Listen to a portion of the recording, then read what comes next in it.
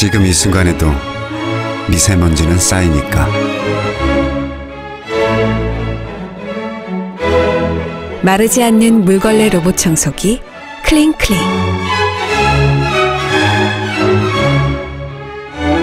여자의 마음에 모뉴엘이 답한다.